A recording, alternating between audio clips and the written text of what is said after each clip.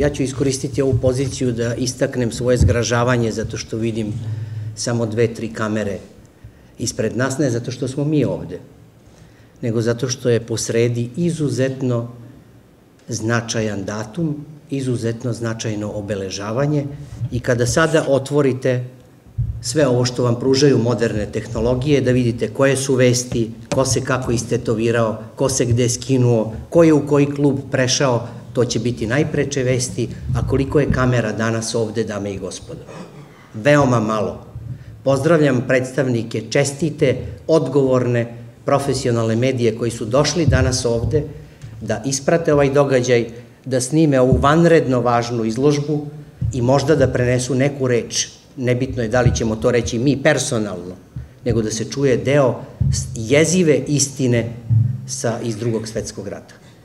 U ovakvim situacijama najčešće se govori o dželatima, stigmatizuju se dželati i fokusira se njihova uloga. Ja bih, bez obzira što će se nekome to učiniti možda paradoksalno ili neprilično, stavio u fokus žrtve, nas Srbe, nas Jevreje, nas Rome i nas, sve ostale građane koji su nevini stradali, brutalno i zverski pobacani pod led u Novom Sadu i u svim drugim selima i gradovima 40. godina od strane zločinaca i fašista. Prvi i ključni korak da se tako nešto nama ne ponovi jeste kultura sećanja. Pesnik je još davno rekao, ko ne pamti, iznova proživljava.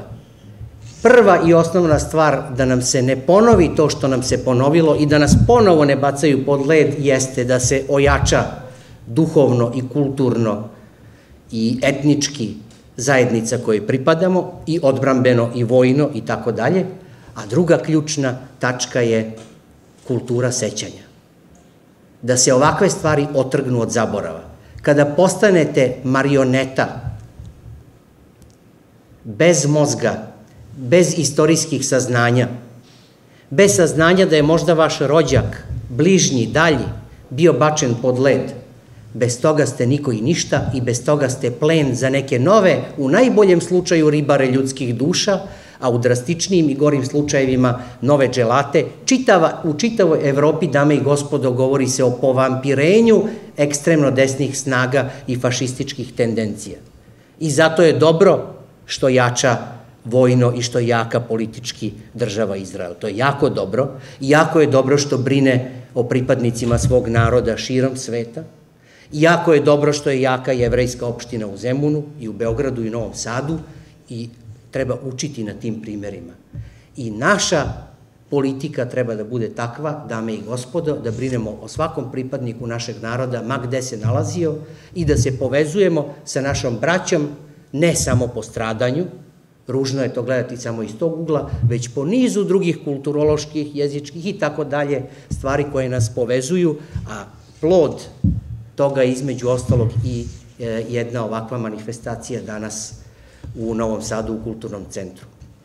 Poražavajuća je slika koju smo videli pre neki dan na naslovnim stranicama najtiražnijih novina, kako omladina stoji u redu da joj se potpiše autogram da da jedna reality zvezda, jedan kriminalac. A ovde koliko će srednjoškolaca doći?